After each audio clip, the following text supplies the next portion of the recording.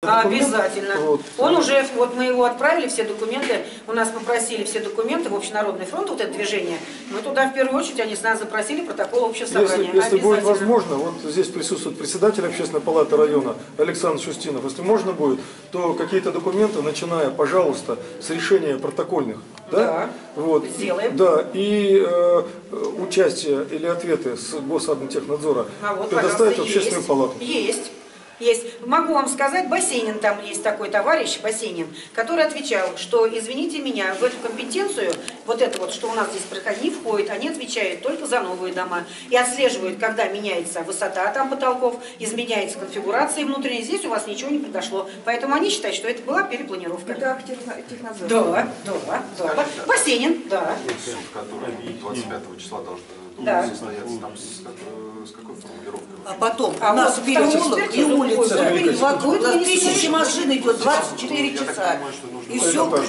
Это же тоже вибрация идет. Конечно. Да. То есть перепланировку нельзя проводить без решения собрания Конечно. жильцов, а его никогда не будет, Да, его не было. потому что общественная палата сейчас стоит на воздухе. На воздухе. Вот здесь нет, вот, вот, вот. Там нет никаких- А мы не знаем, как у нас плиты вот поведут себя, и сколько, и сколько, и сколько это самое, чего. Кстати, вот эту экспертизу, которую вы держите, вот эту держите, внезапного, там написано русским языком, внезапного обрушения дом нету, но нам приходили сюда строители и сказали, коротко и ясно, через два года ваш дом поплывет. А может раньше. А может быть и раньше, да. А здесь и что нашей жизни, вот здесь почему Букин уступился потом, и здесь. Михайловна, скажи про ви- вибрацию дома. Нас тысячи машин идут А вокруг. я тебе уже и сказала, они слушали.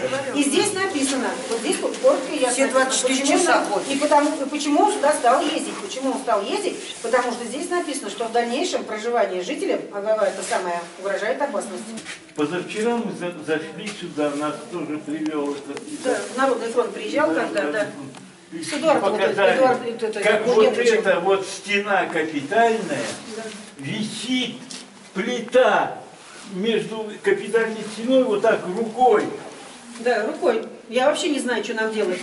Вы понимаете? Сейчас, нет, нет, Мне нет. так вот хочется. сейчас разрушен наш Нет частный сейчас суд, хозяев. собственно говоря.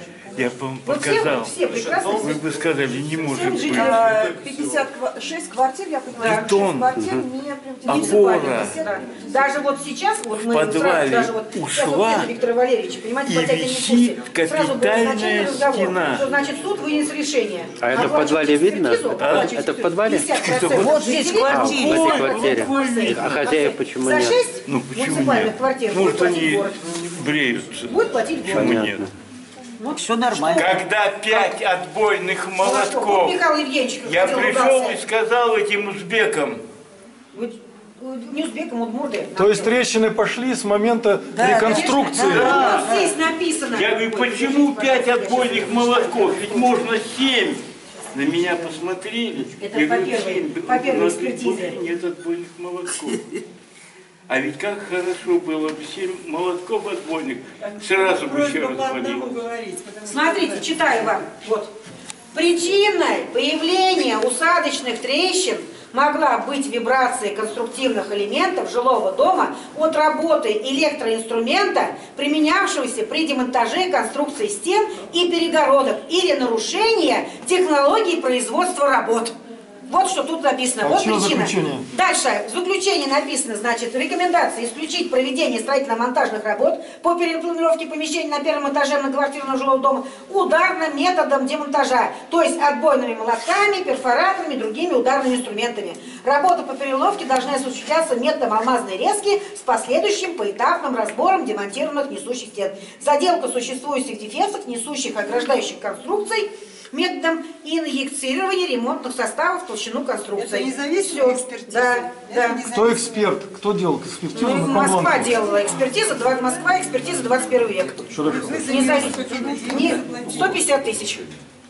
Я хочу сказать э, свое мнение 150 лично. Я думаю, вот эту всю ситуацию, ее надо разделить на 150, две, на, на 150 три раздела. Значит, если тут вот э, сейчас мы обсуждаем трещины и все остальное, мне кажется, э, это одно, это уже, на мой взгляд, даже это второстепенно.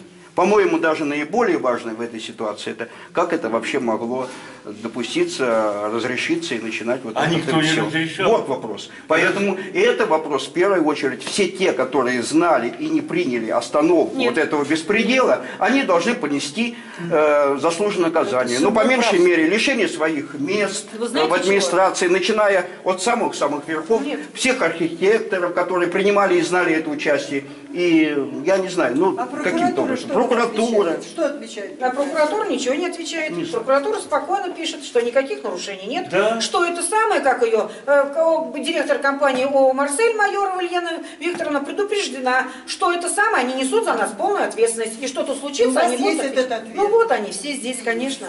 Это надо, знаете, вот копировать все и вам отдавать, чтобы у вас тоже было. Разрешения на реконструкцию Нету. не Нет, вот было да. и нет. Нет. Это самодеятельность. что все, И что дальше... Просто. Мы были, я вам еще раз сказала, мы брошены были одни в городе. Если На этот вопрос не будет доведен, то это будет продолжаться. Больше вопросов у нас не было. Мы были брошены одни. И вот сейчас. Нет, 21, 21, 21. Какая, а какая у вас управляющая компания? Это как ее? Это, так, ну, северянка.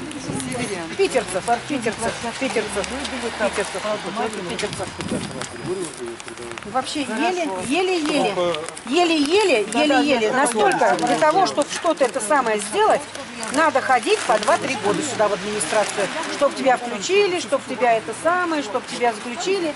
В общем, я хочу сказать, что сейчас, сейчас, я вообще не знаю, вот что будет дальше с домом. Потому что, сами знаете, во все эти лощины сейчас идет зимой. Расходится, сужается. Все, вода затекает. Все. И чего делать? И чего делать-то? Я говорю, мы свой дом берегли, как ока, как ока. Самое интересное, что когда мы обратились к этому Пахомову Сергею Александровичу, я пришла, говорю, Сергей Александрович, вы знаете, скажите, пожалуйста, говорю, мы не будем платить вот эти вот 7-80 за квадратный. Я говорю, мы, говорю, собираем, говорю, мы живем в таком доме, я говорю, мы платить не будем. Он говорит, давай я